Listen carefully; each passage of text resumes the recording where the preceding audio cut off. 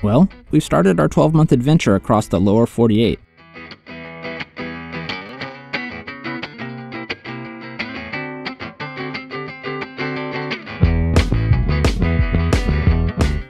It felt like a mad dash to the start line, you know, getting everything prepared for our trip these last few weeks. And by the time we actually did leave, we were starting on empty.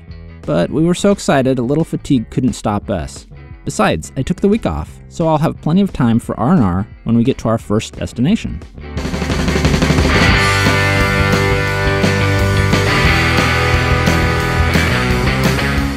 So the extent of my motorhome driving experience prior to leaving was driving the short distance from Modesto, California, where we purchased the RV, to our home in Turlock, which took about 25 minutes. So basically no experience.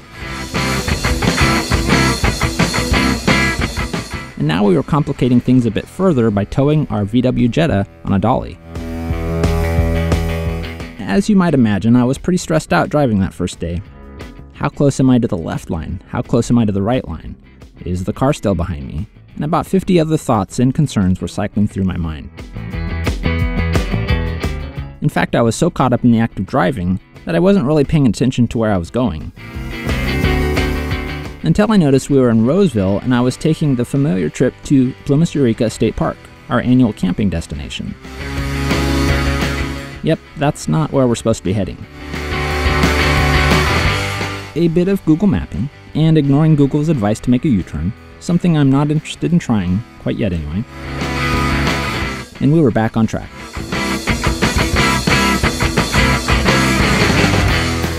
Our immediate goal was to head north and escape the heat we've been baking in the last 16 years. The first destination we chose was Port Angeles, Washington, which had high temperatures around the mid 70s this time of year, just about perfect for me.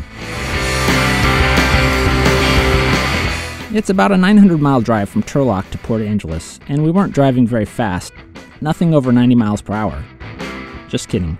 It was closer to 55 miles per hour most of the time. We made it to Port Angeles on Wednesday afternoon, and we weren't disappointed by the weather and the beauty of the area. On Thursday, we headed down to the Salt Creek Recreation Area, which was pretty close to where we were staying. Man, let me tell you, this place is awesome. Basically, it's a beautiful forested area overlooking the Straits of Juan de Fuca. The other side of the strait is Canada.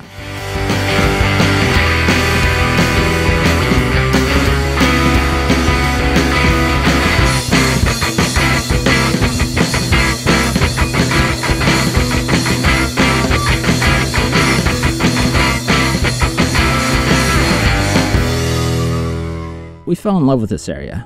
Sims, our son, decided he was going to move here. Who can blame him?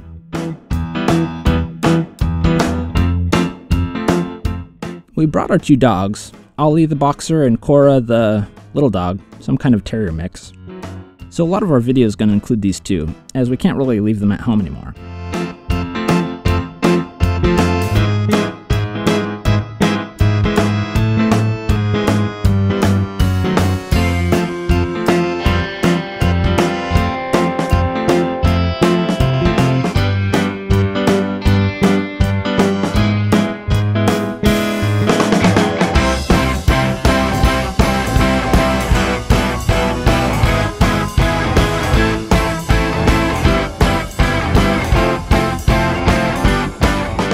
If you notice Ollie bumping into things a lot, it's not because she's dumb, though she is a bit mentally challenged.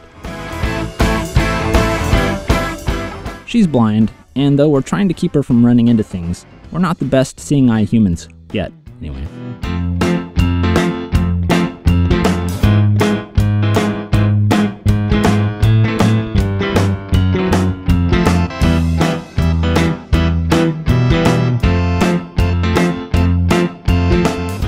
So, Washington is under a statewide burn ban because of excessively dry conditions. Now, I don't doubt it's true. There are a lot of wildfires raging throughout the state. However, it looks a lot different than California under the burn ban conditions.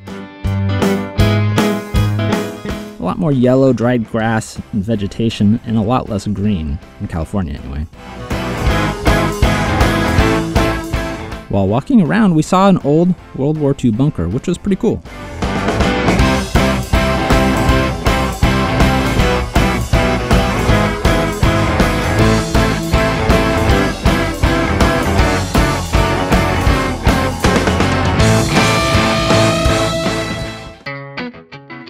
Couple days later, we headed over to Lake Crescent, a short drive from our home on wheels.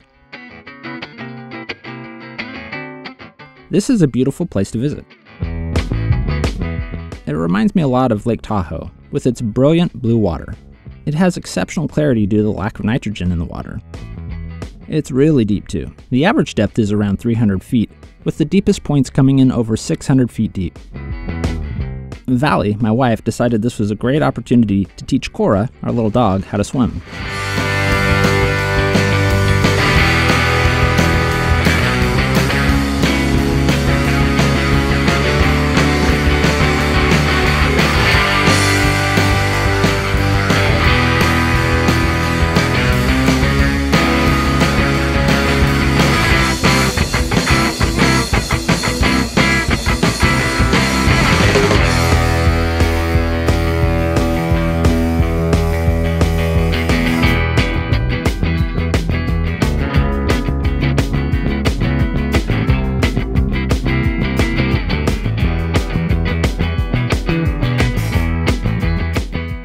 The daredevils, there are a few good cliffs to dive off of. Just remember to keep your legs together and point your toes, right, Valley? Yeah, I'm hinting at a story Valley can tell you another time. So, after about a week in Port Angeles, we moved to Gig Harbor, a small town just north of Tacoma. Valley and I used to live in this area back in the late 90s, and somehow we never made it to Gig Harbor. That was a mistake because this place is awesome. It's a beautiful little port town.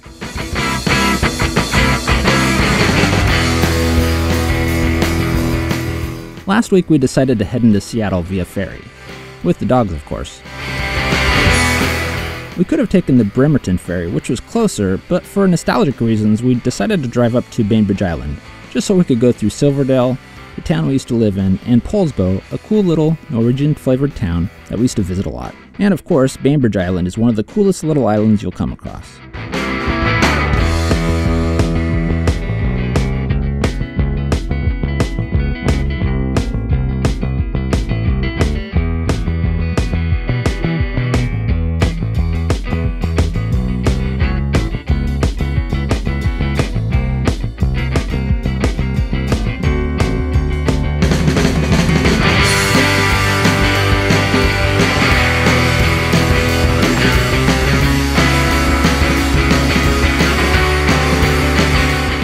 The dogs did pretty good on the ferry, except when they saw other dogs.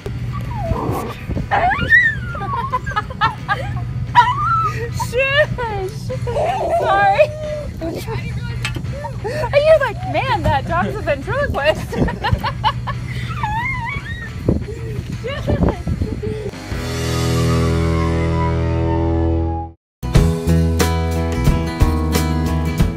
The Seattle was awesome.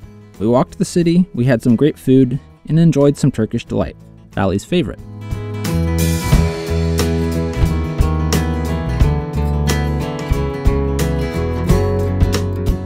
The next day, Paris and I rented a kayak in Gig Harbor.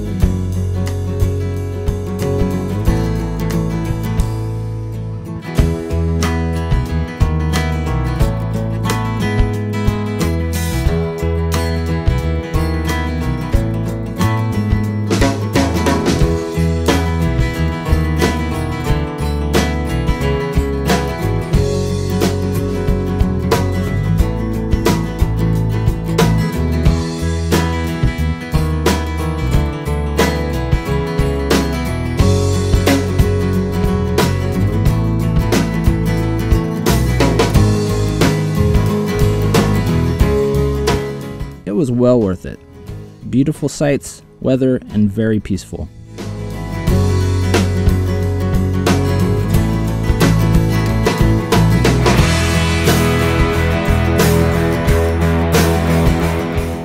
Here's a quick view of where we're staying in Gig Harbor.